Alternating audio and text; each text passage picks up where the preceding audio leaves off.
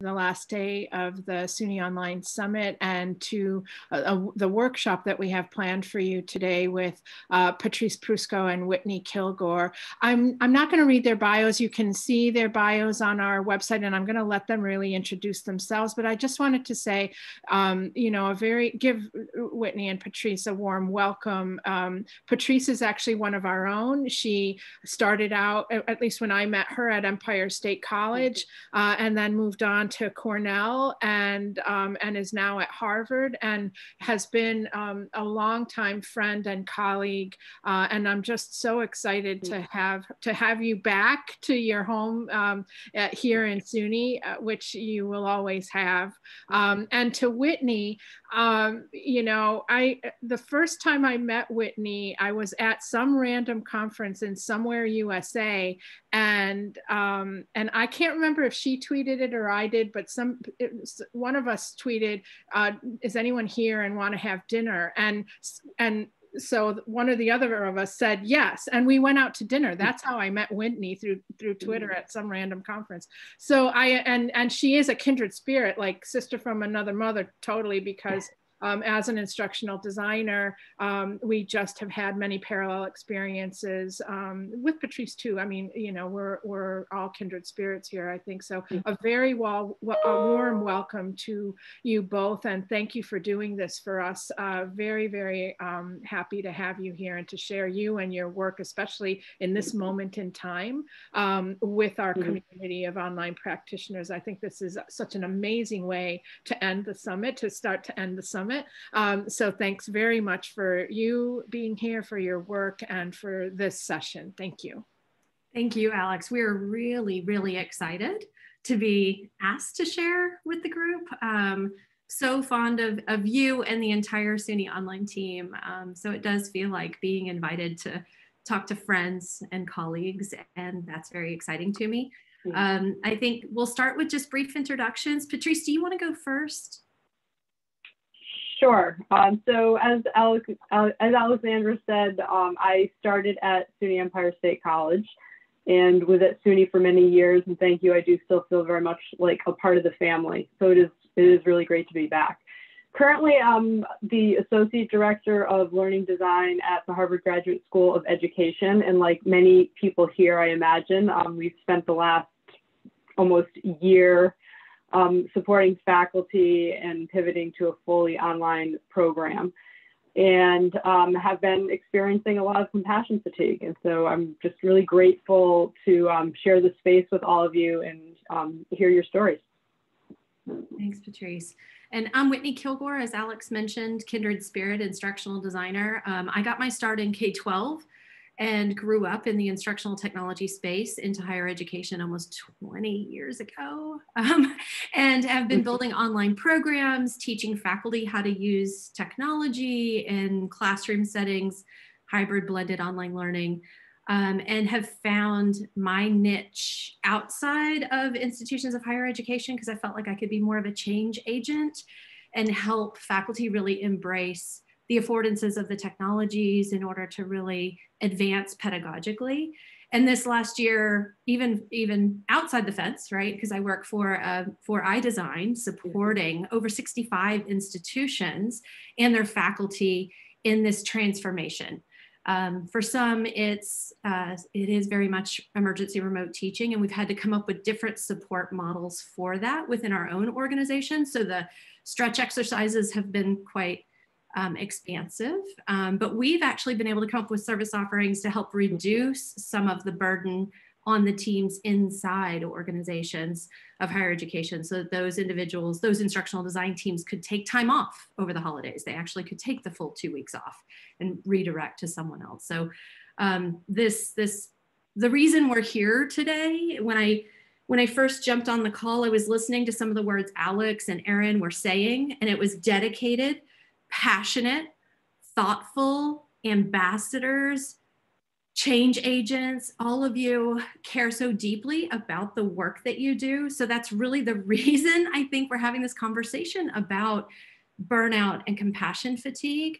But before we get too deep into that, which I'll have Patrice tell you a little bit more about the article and what we're going to do today, I wanted to set the stage for oh wait can i do this with a fake background um, um, we're going to use a tool from the toolbox called liberating structures many of you may be familiar with liberating structures but if you're not i wanted to be sure to share one of my favorite books when i stumbled on this and i think it was printed in like 2013 but when i stumbled on this back in 2015 2016 timeframe i thought to myself I go to conferences all the time. I feel like a lot of sessions are very replication of lecture. There's got to be a better way. This book, it's um, transformational ideas on how you can actually get people active and engaged in conversations and prototype. And so I would encourage you all. There's a great website that goes along with it, but the book is better than the website, just so you know.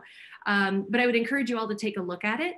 Today we'll use the uh, Mad Tea format, which is one of the liberating structures for the, the process that we're gonna work through with you today. And so that's a little background of what we'll do and, and how we'll do it. But Patrice, do you wanna jump into the article and kind of orient everybody to compassion fatigue? And, and I'll just add that um, Whitney got me hooked on liberating structures. She introduced me to it, um, and I've been using it as well.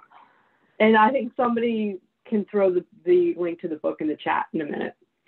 Um, so as Whitney mentioned, uh, in um, December of 2020, we wrote an article called Burned Out Stories of Compassion Fatigue. And there's a link to the article in the Google Doc that we'll be working in. Um, so about a year-ish before that, I had written an article for EdSurge on burnout in the learning design profession, um, just thinking about how uh, not only how overworked learning designers were, but that we were feeling somewhat like a Swiss Army knife, right? We're just constantly being asked to be experts in everything and take on everything. And I didn't realize at the time that one of the things that we were taking on was the uh, compassion fatigue and the feelings of our students and our faculty and other people. And as we got into spring and a few months into COVID and everybody was feeling really burned out, and I was listening to stories of other people, I was hearing that from my colleagues, how, you know, how not only how deeply they cared, which we all do, but that you know, when they were working with faculty, like everyone was experiencing such trauma, and we were taking on that trauma of the faculty that we were working with, of the students, you know, who we wanted to, you know, have the, the best possible experience for every single student. We were taking it on for our team members, for our families at home. And so I did a little bit of research and came up with this idea of compassion fatigue. And um, as you might imagine, I think Whitney and I started talking about this in maybe like May. Um, and it took us until December to really gather, do the interviews and gather all the information because we were just all under such pressure at the time. And I think, you know, now is actually, um, I'm finding a very timely to revisit this concept with everyone. Uh, I'm not sure at your university, but I know like at our university, um, we we did a lot of student surveys. And you know, moving from fall semester to spring, we're looking at a lot of those student stories. And as we all know, when we get you know feedback from our students and evaluations, even if there's one piece of feedback that is not good and you know 99 other pieces are great, that one piece that sticks with us. And so I found that this is actually an additional thing that people are taking on now. Um, is you know the hearing as we're hearing the student experiences and what's and what's happening. And so as Whitney mentioned, we're going to be using the Liberating Structures format. And we've created a Google Doc with um, questions that are actually the same questions we used to interview people for the article. And what we would like to do is allow everyone a few minutes to um, have quiet time to read through these questions and share a story, an experience. Um, and some of the things that I want to note is when, when you write in this document, the document is anonymous, but it's also a public, it, it, it's a publicly facing document. So I'd just like you to keep that in mind. And with that, um, after we've um, spent some time in the, in the document writing, we will come together to share. And so we'd just like to remind everyone about confidentiality. Um, take lessons that you learned, but leave the details. Um, assume assume best intent when people are are sharing. Listen to understand and respond with compassion. And with that, um, is we'll add the link to the chat if it hasn't been added already. And what we would like to do is give you about 20 minutes to have some quiet time to reflect and write in this document. And then what we'll do is look through for some themes that are emerging, and then we'll come back together to, to talk. And we think it's important to wrap up with some positive steps, you know, you know, things that you can do when you leave this session to really feel like you're making a difference.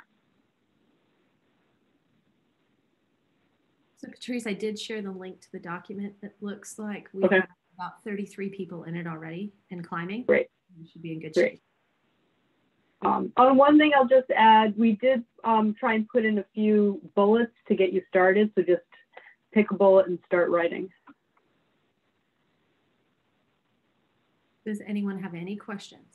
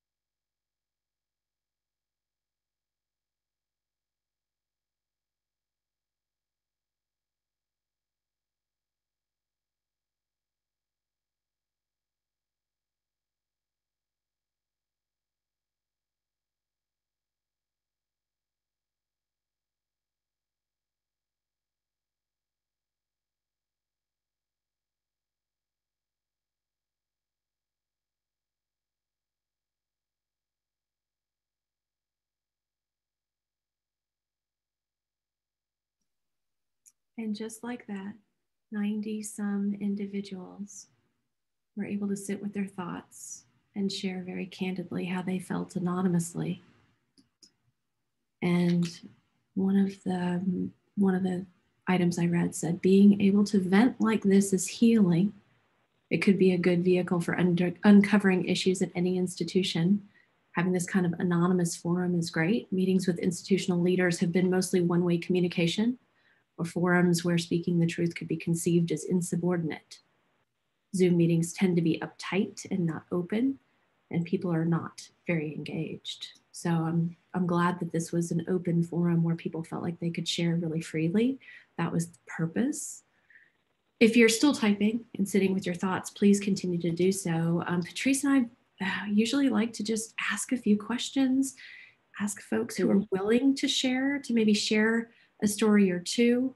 I did see someone commented on the differences between burnout and compassion fatigue. I don't know who you are, um, but if you have um, some nuanced definitions that you would like to discuss between the two, that's definitely a point we could discuss. Um, or if anyone wants to share something that they went through, we'd love to hear from you.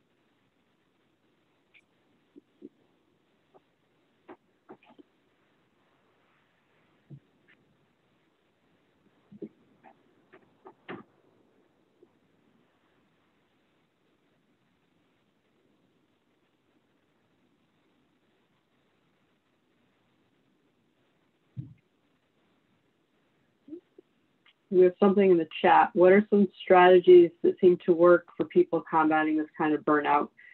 Self care seems to be an overused term. What truly works to help faculty and students in need? I think that's a great question. Um, and as we're thinking about that question, I know some of the stories that we've heard around self care um, is also in some cases it adds an additional burden right? Like all of a sudden you hear about everybody doing self-care and when you don't have you, feel like you don't have time to do that it can create an added stress.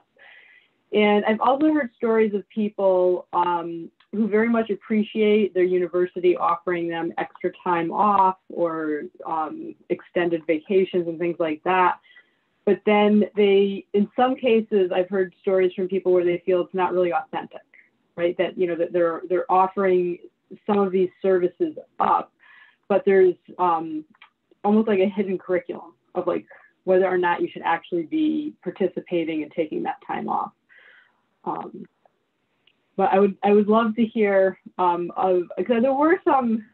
We should stress there were many positive um, things in the Google Doc, um, and many people talked about the joys of working from home um, and not having a commute, having more time to do things. And I know I've found that fitting in things like exercise and laundry and just little things like that, like it is that, that it has been a plus of working of working remotely. And I agree. I think it was um, Greg who said that we should celebrate all the accomplishments, what mm-hmm. was done in so little time, and then, uh, and that was in the chat. That's how I know who it was, just to be clear. Uh, the Google Doc is still anonymous. Um, but then also in the Google Doc, somebody called out, suddenly everyone knows what an instructional designer does. I'm paraphrasing, and that that's both a positive and a negative, mm-hmm. um, which I thought was an interesting take on it. Um, but uh, I found that to be uh, mm. an aha moment, even in my own family. My father said, Oh, that's what you do. And I thought, oh, it only took you 20 years, Dad, to figure that out. Um, the unsung heroes of the pandemic, all the instructional designers, right, that made the magic happen behind the scenes.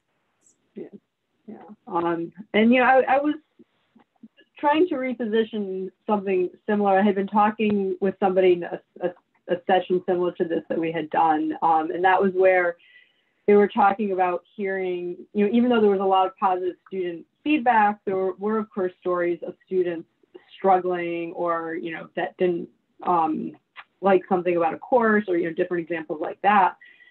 Um, and trying to remind people that, you know, for many of us, we effectively built a fully online school in weeks or months, right? Something that people normally take years to do and iterate over time. And so, yeah, I would like to reiterate that we should all feel good about the work we did.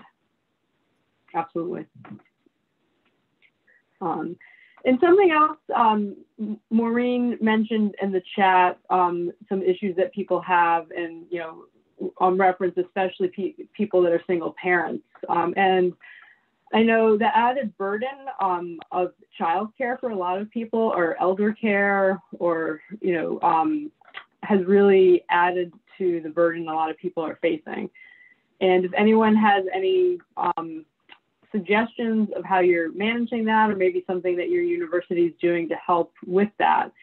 And one wondering I have, um, I was at a session where somebody commented that, um, like they they were concerned about having to have their camera on because in their background they had a baby gate up, you know, or their their small child might run through the image, and there was a lot of concern that you know that even unconsciously, if people see images like these, they may think that you're less capable or, you know, not able to take a task on or things like that.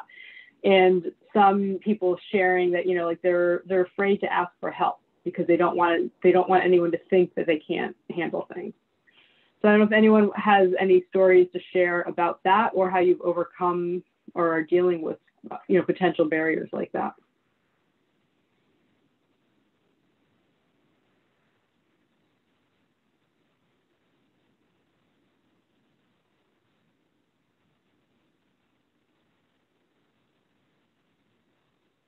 I like that Maureen has shared that they started a parent club. Mm-hmm. Yeah. Elise, we would love to have you share.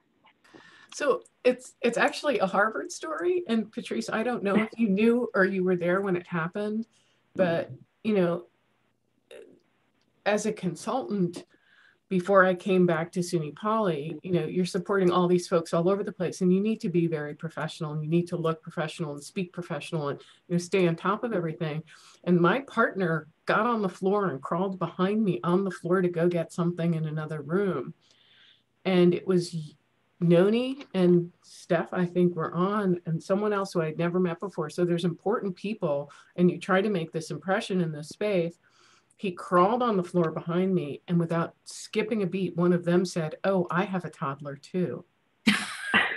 and it was this, this humor and emotion and empathy that was weird and misplaced that made everything okay. Mm-hmm. And I think that, you know, I have a lot of faculty always asking, do we turn the cameras on? Do we not turn the cameras on?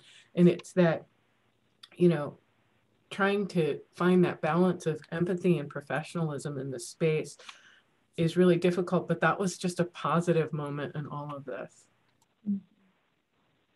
Uh, Thank you. Is it Elisa? I'm going to share something? Did you say me, Elisa? Elisa, sorry. Yes. Okay. Thank you.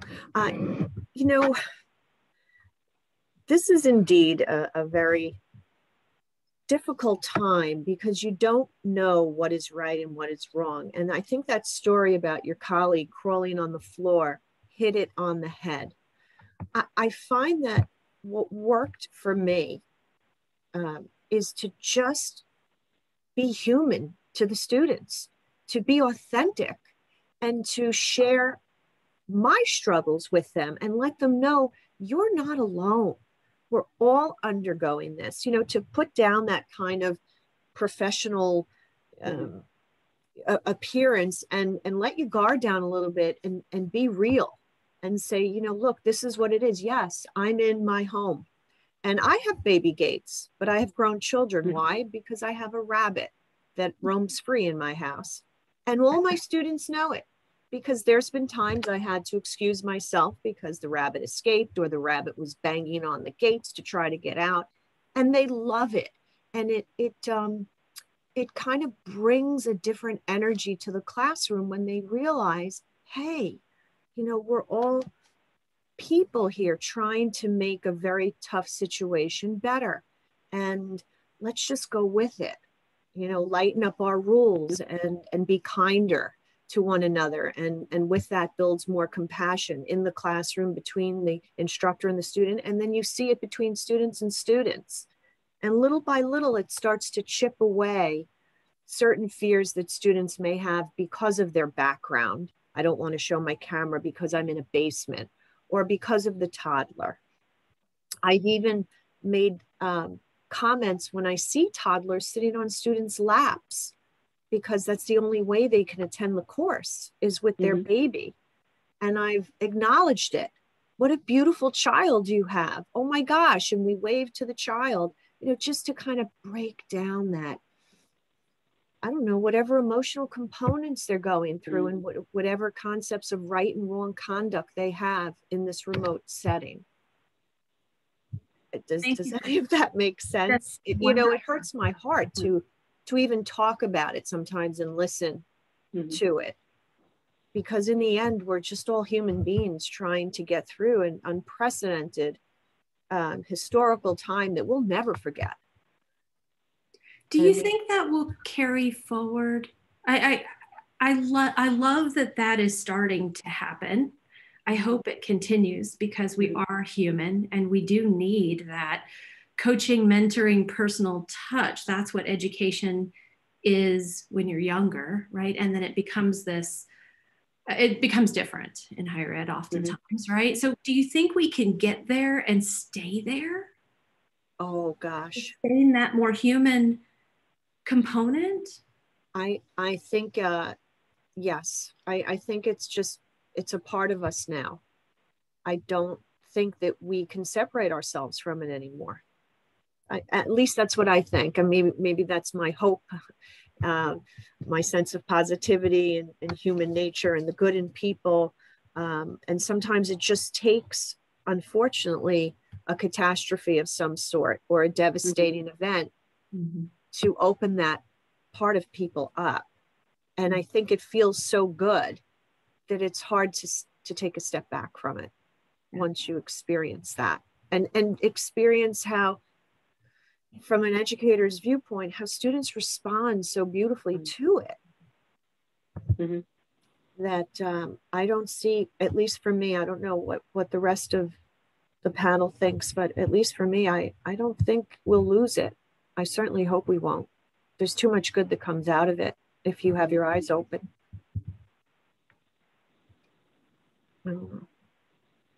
Thank you for sharing. Thank you. Anyone else want an opportunity to, to share what they're thinking?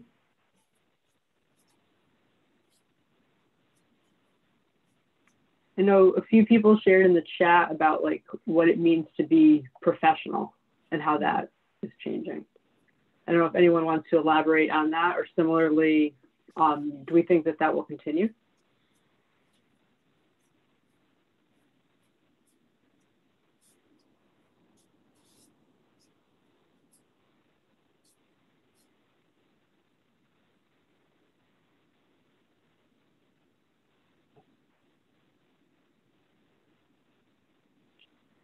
Christy raised her hand. You can go ahead.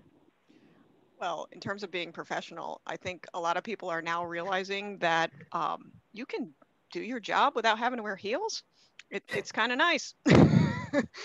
and um, I mean, I don't think that we should all dress like I am today when I'm working at home, but I think there's a big difference in what it takes to do your job. Um, the separation of what you like what you look like what you wear what all this kind of stuff what what you need to do your job where you need to do your job as well. I mean for me being at home has been really good. Um, my mom had a heart attack over last summer um, and i had to be home but i could still do my job um, which was which was good. And yeah thanks greg. Um, and i think that not just education, but business and all that needs to think about what is the role of the office? Do we need to be there all the time? I mean, a Mm. lot of us can do our jobs perfectly fine from anywhere. I did my job from the middle of the woods once because somebody needs some help. So, thinking about place, thinking about all that kind of stuff, thinking about professionalism, what is professionalism is really important. You bring up a really good point. I think we're seeing that in corporate America anyway. The last, um, I don't know, umpteen, that's not a real number, uh, articles that I've read is about giant businesses that aren't returning to the office, that are going to um, have an office that people can opt into coming into, almost like a WeWork or something, right? Where they can they can hot rack or hot desk, whatever they call it. Um, so I think there, you know, Facebook is doing that, Google, a lot of the the big firms in New York and in California, we're seeing mass exoduses out of big cities, people moving to rural areas where they can actually get homes much cheaper, but good broadband, and then be able to work from somewhere else where they have a lower cost of living as well. So the ripple effect of that is it might impact our human geography right? So that's Mhm. also kind of a fascinating study in human behavior that's coming soon. So Yeah, and I would add, I think Greg said he had some thoughts on this. Um, I think it's, uh, it's um, enabled us to increase not only like the diversity of our teams, but sense of belonging and inclusion. Um, you know, being able to hire people that, you know, beyond a 30 mile or whatever radius of where you are um, creates a much, a much greater pool and increases access. And in interesting ways, um, I feel like we have built relationships on our team in ways that we wouldn't if we were just passing each other quickly in the hallway. Um, so yeah, yeah. Um, and then Greg, did you have something you wanted to share? Yeah, thanks, Patrice. I mean, it's it's interesting that idea of remote work, and obviously you have a distributed team at Harvard. And Whitney, you may recall that when we were at a conference last year together, one of the panels was actually on IDs and remote work. You had the title Shoelaces. And uh, you know what what I found interesting in my table talk there with colleagues from across the nation was the fact that uh, we were really the the poor stepchildren in terms of the lack of opportunities to actually engage in remote work. I was surprised really at how pervasive it was and accepted at other institutions. And I think part of our issue, and I'm going to make a global statement, and obviously it varies by a magnitude of 64. Um, our primary identity is as a residential campus. Um, our leadership, our faculty. So, so faculty have a certain viewpoint and, and certain accommodations that professionals have never really had access to. Uh, meaning that you know your time on campus is yours to control, whereas professionals still have much more of a factory metaphor of supervision and reporting. Um, Mhm. I, I think this is changing to some extent, and I'd be interesting to hear other folks tell us what they're experiencing. You know, within my office, it's absolutely changing, and there is an acceptance now and understanding that remote work is feasible, possible, practical, positive. Will that permeate to Old Main to the top floor? I'm unfortunately not convinced that it will, because I think there's there's a divide. There's a class divide, and I'm afraid the class divide will persist even after this between academics and professionals, and the privileges that faculty are afforded that aren't extended to professionals. And remote work is part of that. So that, that's where I am. I'd love to be proven wrong. I'd love to see the world change for the positive, but um, you know, we don't know yet. Yeah, uh, just to add to that, Hmm. I just got a text message from a colleague somewhere in middle America, I'll be super vague, just yesterday, who found out that if she's not back on campus in the fall, that she will not have a job. And so during the pandemic, everything was remote, everything was great.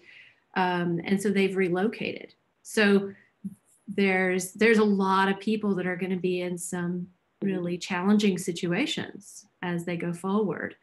And so hopefully higher ed will start thinking like Facebook or Google or some of the big firms and and realize i saw a comment in the chat i can't remember who posted it but somebody said 90 or 80 or 90% of their job was Mm-hmm. remote. They just had to be in the office in order to do it right? It was all phone and email and and zoom anyway. Mhm. uh, but they had to physically go to the office in order to do that work. So i think you're right greg. There's there's work to be done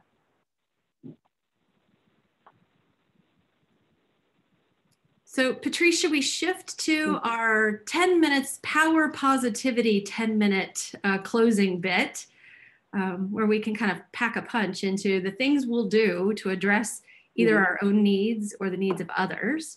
So the very last Mhm. section of the Google Doc. Yeah. Uh, I noticed some people already started typing in there.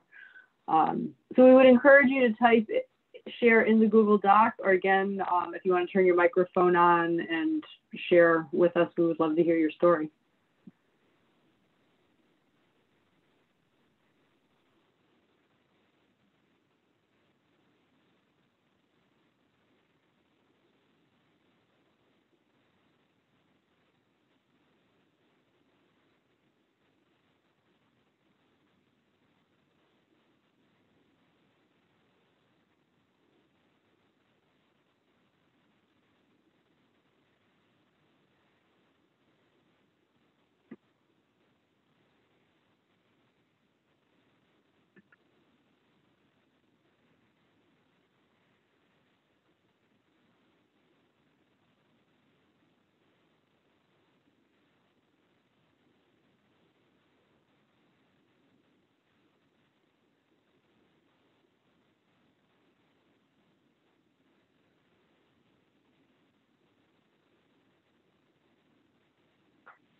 Uh, and I'll add, I know a couple of people have shared um, things around exercise and yoga. If there's a website that you go to or free yoga or exercise classes you want to share, please feel free to add those in the doc as well. Hey, Patrice, it's Alex. So Mhm.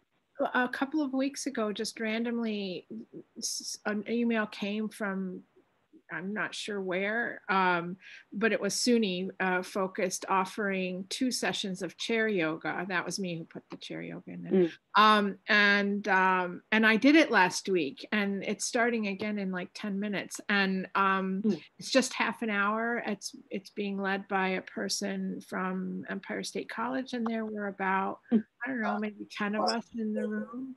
Um, and I'd never done anything like that before, but I've been looking for things to do that because I sit so much, you know, and and um, Mhm. so so I uh, you know I'm looking for other opportunities for something like that, you know, that's easy to do, and and SUNY provided this for um, for us. I'm not sure again like how it came to me or who sent it out or who can access it but um that's why i can't put a, a link I, I don't know who Mm. where it comes from but um but yeah i mean i think it's a great um i hope they continue it it's only two sessions that they were offering and i hope they continue it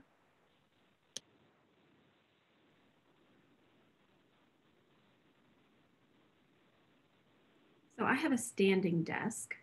And Alex, since you said you you sit so much, I have two tips. Um, the folks that I work with that sit a lot get one of those big exercise balls to sit on, so they're like sitting on that during the day. I don't know if that's helpful. And then um, standing desks are really expensive, and I am a miser, and so I found a furniture resale shop and found an old bar like that somebody would put in their home and put, you know, the booze in, uh, and instead it's books. Uh, so uh, it's just the right height for me. And then uh, that's just an option. Pro tip for anybody who's looking for a standing desk on the cheap. Hey, Alex, I found a standing desk too on Amazon. And it's the ones that you can sit on top of a table or something. And I found it for less than a hundred bucks. Ooh, that's a good tip. Right. So Yeah. it's light enough where I can take it in the in the good weather, like last summer, I was able to take it outside into my screen tent so I could work outside. So it's just you can find them, you just have to look. I mean, and I can if anybody's interested, I will go back and try to find the link on Amazon that of the one I got and it worked great. And like I said, it was probably about 20 pounds.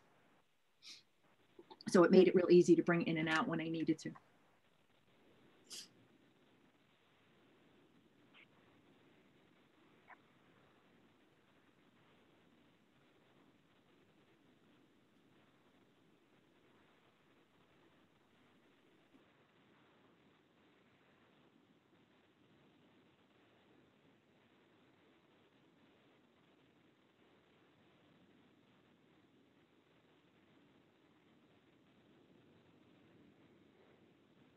Uh, one of the things I noticed on here was take a full lunch break. And I know one of the things that I've started to, do is block that time on my calendar because otherwise inevitably um, a meeting a meeting will get scheduled. And I have a dog, so I actually have an excuse where I can say to people, well, you know, like I, I, have to hop off because I have to go walk my dog. Um, but it reminded me of one other thing. I think Whitney, you actually may do this. Um, something that we're talking about doing is making all meetings like 25 minutes or 55 minutes, um, yeah. so, so you actually have passing time. Oh, yeah, and Elisa has her hand raised. Yeah, we use Google Calendar, and there's a setting mm-hmm. called Speedy Meeting, and it automatically your default isn't 30 minutes or an hour; it's 25 or 50 and it just gives you that cushion if you need to go refill your water bottle or take a bio break. It's like already in your calendar to do so. Mm. Yeah. Elisa? Um, yes, hi. I just wanted to share there are so many uh, wonderful kind of soothing mindfulness apps that are out there on the websites. You can just Google there are um, music that you can listen to. You can look up Calm or Headspace or Breathe. Mm-hmm. You can even uh, just listen to the sound of raindrops. You can't believe how soothing that is. If you can go on YouTube and play that off your speakers in your computer. There are a lot of inexpensive, free little practices that you can embrace or sounds that you can put in the background when you work that will make a difference in how you feel while you're working. And someone I saw talked about a gratitude, um, you know, be, being grateful for your work and your job, and uh, writing a gratitude journal is mm. uh, very transformative for simple things. Just um, looking outside and seeing the way the sun hits the branches of the trees is something you can be grateful for. And just writing that statements, you'd be surprised how different you feel in a matter of a couple of minutes. I'm really glad you said that because there have been days where I didn't feel 100% during the pandemic. And I have had to remind myself how grateful I am that I have my work Mm-hmm. There are so many people mm-hmm. who don't have work right now, and I'm truly blessed to have mm-hmm. healthy children, a happy marriage, a job. Like there are just so many things. I just have to go through that process of reminding myself. So thank you for mentioning that because the power of positivity can lift us up in really hard times. Mm-hmm. And so I think that's a a really wonderful closing thought for us today. Mm-hmm. It's also very nice if you could put something in your course. I've um, I've launched this the last couple of years, and with the remote transition, I've incorporated a little corner in, in my courses about self care practices and little links for mm. students. Uh, and I've gotten great feedback on it. I've put in a little three minute breathing practice that I do in the parking lot, or if you walk in my office unannounced, you might find me doing it in my office in between classes, but little mm-hmm. practices uh, for students to help them because a lot of them don't don't know or they don't look for self-help mm-hmm. um, so that's a thought too even mm-hmm. just something in an announcement to send them a link to an article on a, writing a gratitude journal would be a nice way to not only connect with your students but to to help them through their struggles mm-hmm. Well, with that, I'll say I'm forever grateful to Alex and the entire SUNY mm-hmm. system for inviting Patrice and I to spend some time with you today. Thank you for sharing so candidly mm-hmm. and authentically your feelings, your hopes mm-hmm. for the future, and um, and the things that you are grateful for. It's been a fantastic hour of my life, and I am mm-hmm. forever just yeah. thankful that we had the opportunity to be with you today. Yeah. Yeah. Thank you so much thanks for allowing us to share the space with you. Thank you both um, and to everyone who was here and participated. Um, sometimes it's just nice to be together in community, to, to mm -hmm. witness each other and to um, you know, feel, uh, uh, especially in these moments, to feel some connection and connectedness and shared experience with each other. I Mhm. so value the fact that you wrote that article so that we could see it and so that we could, um, and uh, to both you and Whitney for bringing it to my attention and, and Mhm. um, for being able to have you come and, and do this exercise with us. It was, um, for me a wonderful way to kind of round out the summit and um it's you know because typically we're face to face right and we get to Mhm. go out to dinner with each other and we get to chat and and vent and talk to each other and and uh, just be in community um this was a wonderful way i think for us to be able to um to do that with each other and i appreciate your facilitation and Mhm. and um, and and your attention, you know, to this Mhm. topic and and to this, um, you know, to to helping us all kind of um, um, be able to, you know, get up and and do it again tomorrow. um, so thank you both so much for for everything. Thank you.